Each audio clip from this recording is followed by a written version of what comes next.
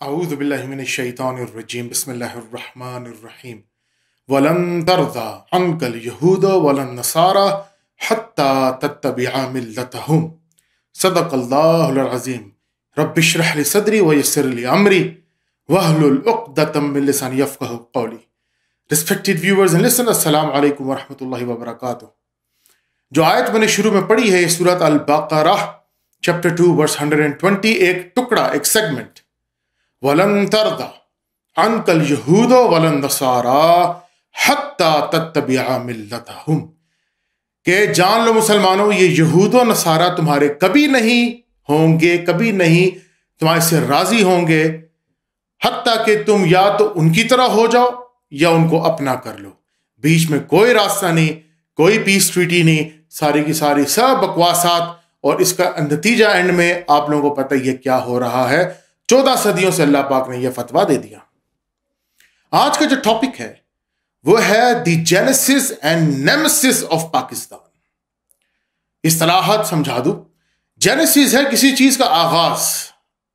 उसकी वजूद सॉरी उसका वजूद, उसकी, उसके असबाब, सबब, कि वो क्यों बनाया गया। और दूसरा नेमेसिस नेमेसिस वो एक फलसफा कह लें या वो एक टर्मिनोलॉजी है कि एक ऐसी कुत है जो आपके पीछे मुसलसल पड़ी है आपको तबाह करने के लिए। Genesis and nemesis of Pakistan शुरू में यहाँ से करूँगा कि अगर आप ये जो आया, आयत मैंने पढ़ी है, इसको अगर आप एम्फोसाइज करें, एक तो ये इंप्लीमेंट होती है पूरी उम्मत मुस्लिमा पर। लेकिन आज मैं सिर्फ़ इसको पाकिस्तान इसके ऊपर मैं इंप्लीमेंट करूँगा या इसके ऊपर मैं इंटीग्रेट करूँगा कि पाकिस्तान के हालात जो है वो क्यों खराब हैं और क्यों हो रहे हैं और क्यों होते रहेंगे। उसकी वजह क्या है? Number one cause is the genesis of Pakistan and after that nemesis of Pakistan अब सबसे पहले शुरू करते हैं अगर हम जेनेसिस पे। पाकिस्तान बना क्यों था? ये हिंदू गाय का पेशाब पीने वाले, नाचने वाली कौम मरासी, ये कौम आज आरएसएस के आप देख रहे हैं जो उनके एजेंडा, जो उनका एजेंडा है आरएसएस का, वो एक वाज प्रूफ है कि क्यों पाकिस्तान एक अलग अलग या फिर एक नेशन मुसलमानों के अंदर थी, कि उनको एक कौम थी, जिन्होंने कहा था कि हम एक अलग कौम है, हमारा एक नज़रिया एक अलग है टू नेशन थ्योरी है, कि हम उनसे बिल्कुल हिंदू जैसे नहीं, उसकी वजह आज मुसलमानों को समझ आ रही है। आज जो मुसलमान, जो हिंदुस्तान का है, जो कहता था पाकिस्तान बनना नहीं चाहिए, जो बड़े बड़े लोग थे, जो खिलाफ थे, अब उनको रियलाइज़ हो रहा है कि जो हाल उनका वो कर रहे हैं। हिंदू, ये सारे के सारे जितने आरएसएस के इंस्पायर्ड जो गुंडे हैं हुलीगन्स हैं, ये जो कर रहे हैं और गवर्नमेंट पुलिस सारी जो उनकी पब्लिक सर्विसेज़ है, सब उनको सपोर्ट कर रही है। इंटरनेशनल मीडिया सपोर्ट कर रहा है। ये सारी वजूहत की वजह से बहुत पहले इलामा इकबाल रहमत ने कहा था कि हम एक अलग कौम हैं। हमारा आपस में रहना मुमकिन नहीं। आज उसकी हम लोग जो है ना, अल्लाह का शुक्र अदा हमें करना चाहिए कि हमें एक अल्लाह ने आज़ाद सोवरियन स्टेट दिया। अब उसके जो कॉन्स एंड प्रोस कह लें या किस तरह हम लोग किस तरफ़ जा रहे हैं, उसके ऊपर मैं थोड़ा सा अब एम्फोसाइज करना चाह रहा हूँ। सबसे पहले पाकिस्तान का जेनेसिस क्या था? पाकिस्तान का मतलब क्या? ला इल्लल्लाह। Nothing must be done to the repugnant of holy Quran and Sunnah हमारा जो ऑब्जेक्टिव रेजोल्यूशन था, ये उसके अंदर क्लॉज है कि कोई शय जो है कुरान और सुन्नत के जरा भी बरअक्स क्या, बल्कि नापसंद हो, वो भी नहीं एक्सेप्ट होगी। इस्लामिक कॉन्स्टिट्यूशन में, पाकिस्तान के। ऑब्जेक्टिव रेजोल्यूशन का ये शिफ्ट है। अब ये तो हमारे पास सामने एक नज़र है। देखें, एक होता है कि बंदा जनरलाइज स्टेटमेंट्स देता रहे हमारे पास जनरलाइजेशन नहीं है। हमारे पास क्लॉज है कॉन्स्टिट्यूशन में। आइन के अंदर हमारे पास ये स्टेटमेंट मौजूद है। मेरा नहीं ख्याल कि किसी दूसरी इस्लामिक कंट्री जो है, जिसके अंदर आइन के अंदर ऐसी बात लिखी हो, ये जो हा, कजा, हु, बहू, ऐसी बात लिखी हो nothing must be done to the repugnant of holy Quran and Sunnah मुझे नहीं लगता किसी कॉन्स्टिट्यूशन स्वाय पाकिस्तान के। और हमें इस चीज़ का फख्र होना चाहिए। लेकिन हम कर क्या रहे हैं, वो बरअक्स उल्टा। बिल्कुल ऑपोजिट जिसके ऊपर मैं अभी आता हूँ। देखिए सबसे पहले बात याद रखिए कि जब आप अपनी आइडेंटिटी को लूज कर देते हैं तो आपकी सारी पोटेंशियल पावर एनर्जी सब लॉस्ट हो जाती है। क्यों? क्योंकि हर बंदा अपनी आइडेंटिटी से पहचाना जाता है। आप ह्यूमन बीइंग है because you have I D you are called human beings अगर वो आईडी आपसे खत्म कर दी जाए, ले ली जाए तो आप क्या हो? अननोन एनिमल कोई भी क्लासिफाई कर दो, आपको किसी को भी आके आपको क्लासिफाई कर सकता है। चूँकि हमारे पास एक आइडेंटिटी है, इसलिए हम लोग स्ट्रांग है, हमारे पास ताकत है potential we are human beings we are the best creation of Allah ये कहाँ से आया आपके अंदर? क्योंकि आपको फील हुआ, आपने अपनी आईडी पहचान ली। अल्लाह पाक सुरह हशर में फरमाते हैं कि जब तुम अपने हमारे हकाम भूल जाते हो, हम तुम्हें अपना आप भुला देते हैं। यह है लॉस्ट ऑफ़ आइडेंटिटी हमारी आइडेंटिटी पाकिस्तान का मतलब क्या? ला इल्लल्लाह, कि हम लोग हर वो शय पे अमल करेंगे जो अल्लाह और उसके रसूल ने तय कर दी। अब हमने कितने सालों से आज़ादी ले ली, लेकिन हमने कहीं भी इस्लामी खिलाफत का निज़ाम क्या, बल्कि उसका शरारा भी पैदा नहीं किया। ये अफसोस है आज की तारीख में, हमने दगाबाजी की अल्लाह पाक से। हमने अल्लाह ताला को धोखा दिया। हमें जिस वजह से हमने कहा था हम अलग कौम है हमने उसका कोई फर...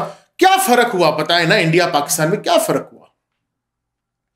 लेकिन आज भी पाकिस्तान के ऊपर कुफार की वो नज़रें हैं कि जो और किसी ममालिक पे नहीं है, क्योंकि हम लोग एक न्यूक्लियर स्टेट हैं और जिसकी वजह से हम लोग आज तक कीमत अदा कर रहे हैं। Genesis of Pakistan was very simple philosophy that we are different nation we are Muslim and these are Hindus cow worshippers we can not live together ये बिल्कुल वाजिब बात it was a vivid philosophy कि हम लोग नहीं रह सकते आपस में। और आज भी आप देख रहे हैं, नहीं रह सकते। क्योंकि हमारे यहाँ हर चीज़ अलग, उनके यहाँ हर चीज़ अलग। चलो अहल किताब होती तो कोई चीज़ सिमिलैरिटीज में आ जाती। हिंदुओं के साथ तो कोई शय आपकी मिलती नहीं है। Then how come we gonna live together so it was the right decision to get separation it was a wise decision that time अब आप देख रहे हैं उसका repercussion and aftermath of those division of the states कि आज हिंदू जो है, वो एवेंज लेने के लिए तैयार है। वो अपने जो है, क्या नाम है, जिसको ग्रेटर इंडिया बनाना चाहते थे, अशोका का ख्वाब जो है, वो उसके पीछे चढ़े हुए हैं, पड़े हुए हैं। कि ये जो सी हमारा लैंड था, मुसलमानों ने बाहर से आके कब्जा किया, मुसलमानों ने आके हम पे ज़बरदस्ती रूल किया हमारे। क्यों मुसलमान आए? बताएँ, मुसलमान क्यों आए थे? आप लोग क्या करते थे हिंदुस्तान में कि मुसलमान मजबूरन आए? किसने डाकुओं को लूटा? अरबों के सिंधी डाकू कौन थे? मुसलमान थे? कौन थे सिंधी डाकू? ये सारे लोग कौन थे जो हिंदुस्तान के अंदर, जिनकी वजह से, मजबूरी की वजह से मुसलमानों ने आके राज किया था? हर चीज़ के पीछे एक बैकग्राउंड है, लेकिन वो अलहदा बात है कि हिंदू आपको बताएँगे नहीं। औरतों को जलाना हस्बैंड मर गया, औरत को जलाना ये सारी की सारी चीज़ें इंसानियत है। बातें तुम इस्लाम की करते हो। अपने अपने जरा रिलीजन पर नज़र डालो कि कौन से इंसानियत के कवानीन है। तुम्हारे तो बड़ा बड़ा जो बशख्स है इंटेलेक्चुअल हिंदुस्तान के अंदर, वो तो हिंदुइज्म को खत्म कर चुका है मासलामा कर चुका है। वो लहदा बात है बेचारे डरते हैं, मोदी सरकार से डरते हैं, क्योंकि मोदी सरकार एक टायरेंट एक जो एक्सट्रीमिस्ट वो हिटलर के फलसफे पे चलने वाला बंदा है, जिसको कहते हैं ना डिक्टेटर है वो एक। और उसने जो गुजरात में किया मुसलमानों के साथ, ये सब लोग जानते हैं एवरीबडी नोज़ दैट लेकिन वो in mums the mouth silence of the land बस वो खामोश हो जाओ। गुंगे, बहरे, मंकी, सारे मुसलमान भी बेचारे क्या करें हिंदुस्तान के? बारह। The genesis of Pakistan was indeed the right step क्या अलग कौम है, आज़ाद कौम है। मुसलमान नहीं रह सकता। रेड क्लिफ ने आया, उसने ऐसी पार्टीशन की और रातों रात अपनी ट्रेन में बैठ के दफ़ा हो गया। और कौन लाइन ऑफ़ कंटेंशन क्रिएट कर गया टेरिटोरियल बाउंड्रीज के ऊपर मुसलमान लड़ते रहे। सारा का सारा जो लो तबका था, उसको हिजरत करनी पड़ी पंजाब में।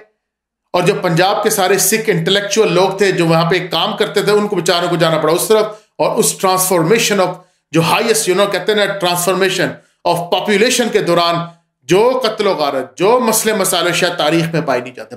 Bloodshed and it was a plan a pretext plan of red cliff उसने ये किया था डिलिबरेटली कि ताकि बाद में ये लोग लड़े लड़े और यहीं पर आदत कमज़ोर हो जाए। ईस्ट इंडिया उधर छोड़ दिया जब बांग्लादेश बन गया। बीच में कबाब की हड्डी रॉ एजेंसी ऑफ़ इंडिया आरएसएस और वहाँ पे दूसरा पाकिस्तान ज़ाहिर अलग होना ही था बांग्लादेश ने। सिस्कियाँ खा रहा था, कैसे चल सकता था? बीच में इतना बड़ा मसला था। By the by the way मैं उसमें नहीं अभी जाना चाहता, वो कैसे अलग हुआ? दैट्स अनदर टॉपिक बताने का मकसद क्या है?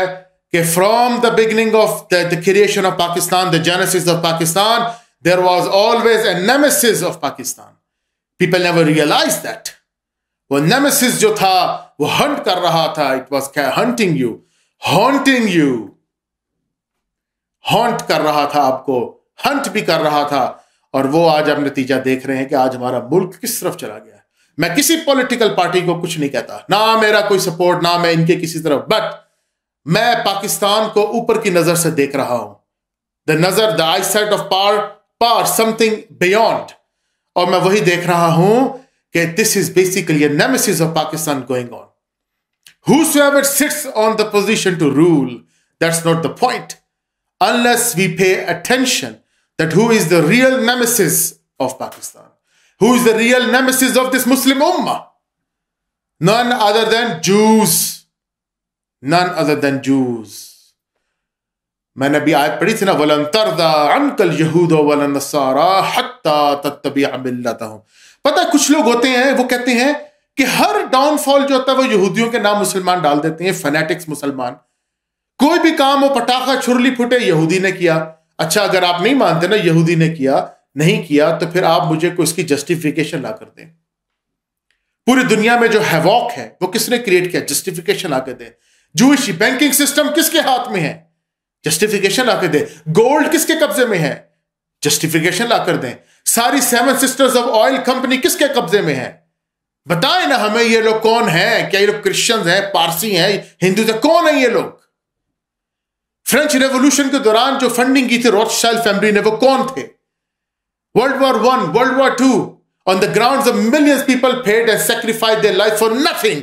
For communism and capitalism. Still they are fighting right now. For what? For whose fault? कौन उसके बैकग्राउंड कौन उसके पीछे? Who is the puppet master बताए ना फिर हमें, कुछ जस्टिफिकेशन भी दें। नहीं जी, नहीं, वो फिर फिर जी बात समझिए। रात गई, बात गई। इस तरह नहीं होता मेरे भाई। हम जब बात करते हैं first of all we have a divine fatwa of Allah हमारे पास सबसे पहले रब की रब की बात है।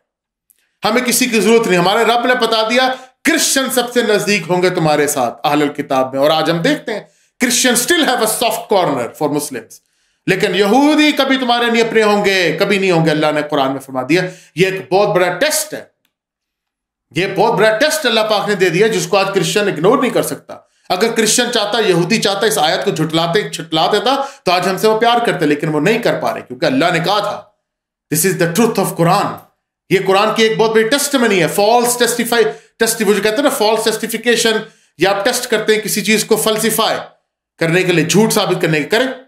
फल्सिफिकेशन टेस्ट करें।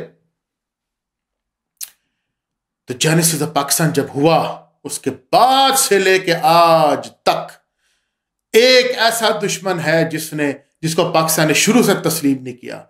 The state of Israel 1948 Ben Gurion उसने कहा, कायद आज़म को, मोहम्मद अली जिना को एक्सेप्ट अस कहा, नहीं हम नहीं एक्सेप्ट करते तुम्हें। तो उन्होंने कहा, ठीक है, फिर हम भी तुम्हें कोई ऐसा नेमेसिस भेजेंगे जो तुम सारी ज़िंदगी सिस्कियाँ खाते रहोगे। और वो था इंडिया रॉ एजेंसी आज तक हम लोग उस जंजल से नहीं निकले।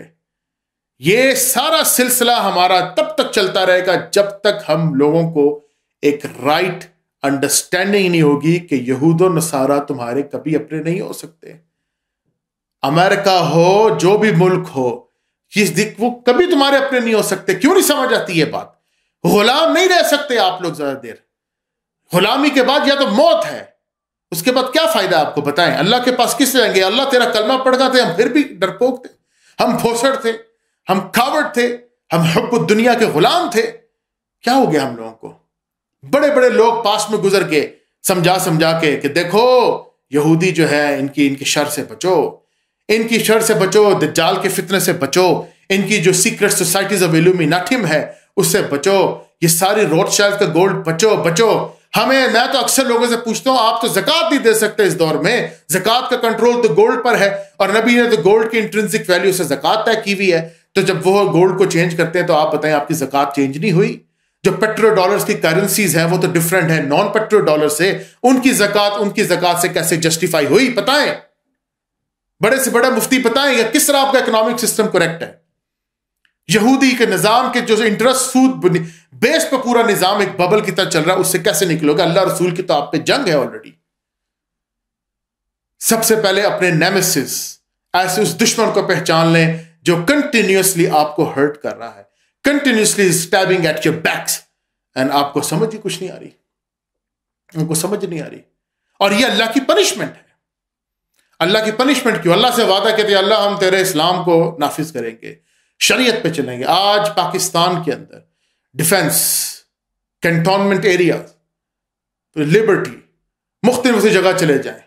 वहाँ पे लड़कियों के अंदर तो शर्म नाम की चीज़ ही नहीं रही। खत्म। शर्म गई तैमूर के घर से, तुर्क तैमूर। इनके घरों से शर्म गई। ये शर्म कहाँ गई? किसने कहा, भाई, कपड़े उतारो, हम को तुर्की तो थे ही नहीं। अतातुर कमाल पाशा तो मौजूद नहीं था, जिसने कहा था, पर्दे उतार दो, बैन बैन कर दो अजानों को। इनके पर्दे, इनके कपड़े, दो टके की दौलत आके खुद ही उतर गए। आज पाकिस्तान के अंदर जो लड़की के पास चंद पैसा, जिस फैमिली के पास जो अपने आप को एलिट समझते हैं, शर्म गई उनके पास। उनके पास शर्म है ही कोई नहीं। और वो समझते हैं कि वी आर मॉडर्नाइज पीपल हमारे ऐसा बेहतर है ही नहीं। और ये बेचारे मोहल्ली मुलट्टे ये सारे दकिया नुसी निकाब करने वाली औरतें, इनका तो कोई फ्यूचर ही नहीं है। बदा इस्लाम गरीबन फयूद कमा बदा गरीबन, फतूबा नबी ने फरमाया, मुबारक उनके साथ जिनको तकियानुसी कहा जाए या कहा जाए इस्लाम जब गरीब हो जाएगा तो उनको बुरा कर नबी ने कहा, उनको मुबारकबाद दे दो, जब इस्लाम गरीब हो जाएगा तो वो भी साथ गरीब हो जाएँगे। फतूबा गुरबा हमें नहीं चाहिए, बाबा, ये वाली ज़िंदगी, अमीरों की ज़िंदगी। अल्लाह पाक ऐसी लानत से हमें बचाए रखे। लेकिन, when the matter of Islam comes, हम कहते हैं, आओ bring your giant of literature आओ, हमसे डिबेट करो।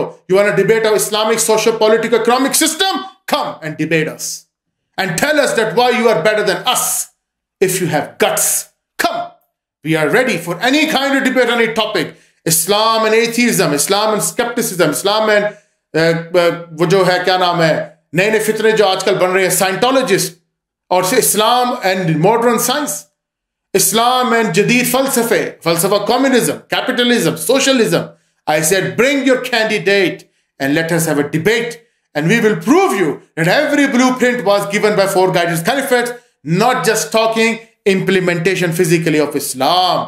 और फिर आप भागोगे, फर्रत मिन कसवरा as as you are fleeing away from a lion ये आपकी एक हालत कर देगा इस्लाम फिर। बहरहाल, मैं एक नोट पढ़ूँगा आपको ताकि मेरी बात ना हो कि ये जो नेमेसिस है, इसका क्या असर पाकिस्तान पे हुआ। और आज हम जो देख रहे हैं, जिस तरह हमारे मुल्क को खेला गया, जिस तरह हमारे मुल्क का तमाशा बना, और हमारा मुल्क जिस गुर्बत में आज जा रहा है, क्योंकि वो इसी वजह से जा रहा है because our dictation are given by somebody else हम आज बिल्कुल गरीब आज हमारा जहन वही हो रहा है जो इलामा इकबाल ने कहा था ना, मेरा ये हाल बूट की टो चाटता हूँ मैं, और इनका ये कहना, देख मेरे फर्श पे भी आके ना रिंग। ये मेरे पास क्यों किताबें हैं, देखे मैं आपको एक चीज़ दिखाऊँ। वॉल्यूम वन मुझे नहीं पता कैमरा देख सकता कि नहीं देख सकता, बहरहाल नज़र नहीं आता तो मैं कुछ नहीं कर सकता। Zionism volume one the false Messiah the real enemy of the Jews Alan Hart volume one ठीक हो गया। ये है जनाब वॉल्यूम टू वही Zionism the real enemy of the Jews David becomes Goliath David becomes Goliath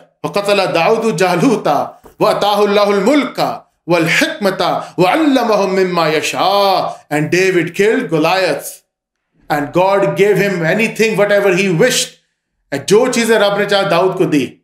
And जो उसको kingdom Dawood इस्लाम को दी वो आप लोगों को पता and God give him the kingdom